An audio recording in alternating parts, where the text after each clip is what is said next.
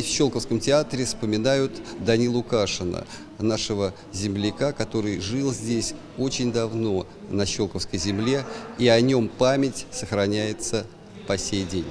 В 1799 году Даниле Кашину, крепостному композитору, генерал Бибиков, владелец усадьбы Гребнева, дал вольную. Данила Кашин уже писал музыкальные пьесы для театра и скоро стал востребован как сочинитель опер, романсов, песен, в том числе на стихи Жуковского, Пушкина, других поэтов того времени. В Щелковском районе наследие композитора ценят и любят. Ежегодно в мае проводится фестиваль, который называется «Кашинские дни». На его открытие в Щелковском театрально-концертном центре на красочное представление собрали школьников, которых, как и в прошлые годы, организаторы фестиваля стремятся заинтересовать ярким примером творческого отношения к жизни со стороны нашего удивительного земляка из давнего-давнего прошлого.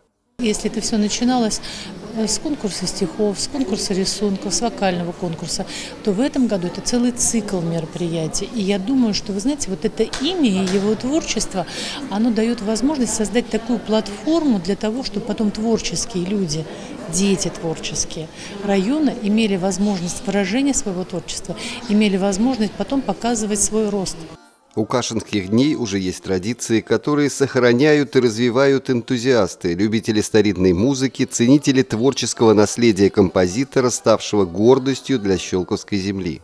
Данила Кашин мы начали заниматься в 2009 году, то есть в следующем году будет уже юбилей, 10 лет, как мы занимаемся этим композитором. Этот пласт подняла э, Ирина Ивановна Иларионова, Э, работая в администрации культуры. Это наша культура, наше прошлое, наша история.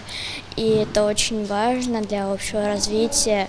Не только развиваться свои знания, но и духовно развиваться, слушать музыку не только современную, но и классику, то, что писали еще в 17-18 веке и раньше. Это важно.